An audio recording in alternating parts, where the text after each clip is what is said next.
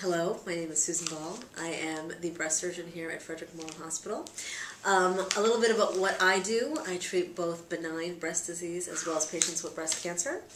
Um, we treat everything here from patients with breast cancer and breast lumps or breast pain or also high-risk patients. So a common question I get is, what can I do to prevent myself from getting breast cancer? And this is what I tell all my patients, regardless of whether they have a history or not but it is very important still to get your annual screening mammogram every year at the age of 40. And we encourage patients to do that 10 years earlier if they've had a family member, first degree relative, who's had a diagnosis at a young age.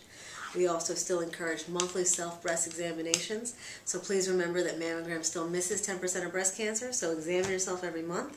And then you should get a breast exam by some sort of provider on an annual basis. So that's what you can do to empower yourself. We also have more and more data on exercise and lifestyle changes. So we want you to eat right, eat your antioxidants, plenty, of fruits and vegetables, low saturated fats, and get your daily exercise. 20 to 30 minutes of cardio activity, five to seven days a week. These are what these are things we can do to remain healthy and to prevent the risk of getting breast cancer.